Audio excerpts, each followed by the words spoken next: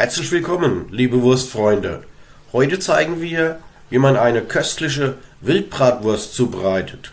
Lasst uns gleich loslegen.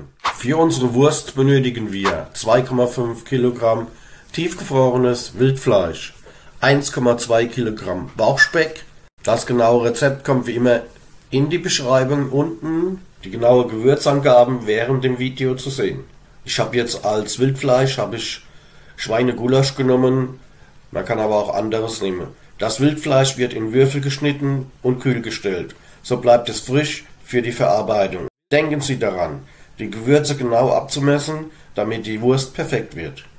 Nun wiegen wir das Gesamtgewicht ab, damit wir die Gewürze bestimmen können. So, ich gehe mal schnell raus in den Garten, mal gucken, was noch alles so wächst. Da nämlich noch ein bisschen Koriander habe ich hier. Das ist jetzt optional, da könnt ihr Petersilie reinmachen oder was ihr gerne möchtet. Da kommen wir zur Gewürzmischung.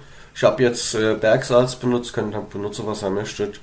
Das sind jetzt genau 19 Gramm Bergsalz. Die Gewürze sind jetzt alle auf 1 Kilogramm Fleisch. Dazu kommt 3 Gramm bunter Pfeffer, wird später noch aufgeschrotet. Daneben 3 Gramm Pfeffer, gemahlen. 5 Gramm Paprika edelsüß. Dann haben wir 0,7 Gramm Knoblauchpulver, frischer auch sehr lecker. Und 2 Gramm Massis oder Muskatnuss 1 Gramm. 4 Gramm Kreuzkümmel optional. Dann haben wir nebendran nochmal 1 Gramm Ascorbinsäure, Vitamin C, gut für die Haltbarkeit. Daneben haben wir den Muskatnuss und äh, davon habe ich 1 Gramm genommen. Und ein Teelöffel Majoran pro Kilogramm ist das alles. Nachgeschmack Petersilie, Gardekräuter und so weiter, wie ihr das gern habt. Jetzt mischen wir die Gewürze mit dem Fleisch. Gut vermengen, dass alles gleichmäßig verteilt ist. Danach kommt alles durch den Fleischwolf. Ich habe die mittlere Lochscheibe benutzt, ist für eine ausgewogene Textur. Wenn das Fleisch durchgelassen ist, geben wir noch unsere Gartenkräuter dran und tun unser Brät gut vermengen. Das heißt, das ist das Wichtigste an der ganzen Wurst. Das müsst ihr gut, gut mengen. Ja, ich weiß, das ist sehr kalt und das kann auch einige Minuten dauern, bis es dann soweit ist, wie ihr das jetzt seht. Dann bekommt ihr eine tolle Wurst und die schmeckt auch gut.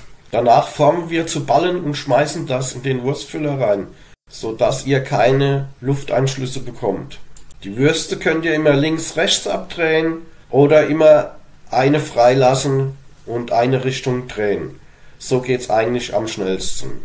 Die gemischte Masse wird in den Wurstfüller gegeben. Der Darm muss vorher in Salzwasser gewässert werden.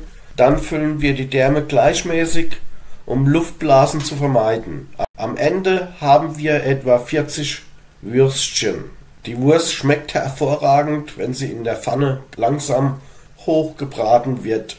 Zum Grillen ist sie auch sehr gut geeignet. Ich wünsche euch viel Spaß beim Nachmachen. Abonniert meinen Kanal, um weitere Videos nicht zu verpassen. Das Rezept wie immer umgerechnet auf die Gesamtmenge und natürlich auf das Kilo. Unterstützt meinen Kanal, damit ich weitere Videos veröffentlichen kann. Herzlichen Dank und tschüss bis zum nächsten Mal.